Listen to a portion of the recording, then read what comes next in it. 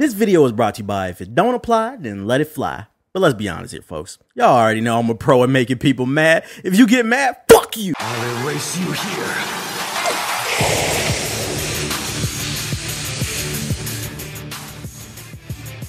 Are you feeling down on your luck? Are you tired of working that dead end job? You feeling like your life has no purpose? Are those bills starting to pile up? Then why not become an indie game developer? Now I know what you're thinking, but I'm just some guy who works in a chicken shack in Willacoochee, Georgia. I don't know anything about game development. Well, lucky for you, I put together this short guide on how to become the next big indie game developer. So follow these six easy steps, and you too could be rolling in the big bucks. Step one. Go to unity.3d.com and download the Unity 5 engine along with all the free assets. Step 2.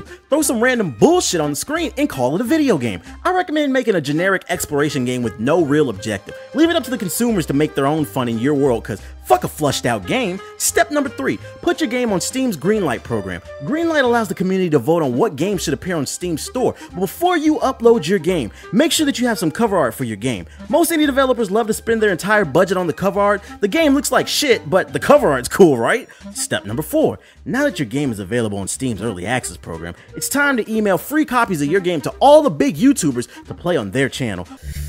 Let's see, to PewDiePie. And uh, the subject, the subject is, you better read this. Um, let's see. Dear PewDiePie. You better play my shit, nigga. Often indie developers, they don't have a marketing budget, so they lean on YouTubers and Twitch streamers to promote their games. Make sure to send your game to all the most obnoxious YouTubers who love to shout dumb shit all over the gameplay. The bigger the fag, the better. Step 5, now that you have big YouTubers playing your game, you're rich. So make sure to never finish your game and ignore the community who purchased and supported your shit-tastic product. Often consumers will leave angry messages in the forums, but that's all background noise once you're rolling in the big bucks, right? Step number six. This is the last step, and it's honestly the most important. So listen up, buddy. Upon your game's release, make sure to actively search for what YouTubers are playing your games. If any content creator criticizes your game on YouTube, make sure to hit that little bitch with a copyright strike. Can't be having any honesty up in this motherfucker. So there you have it. Follow those six easy steps, and you too could be the next rich scumbag on Steam.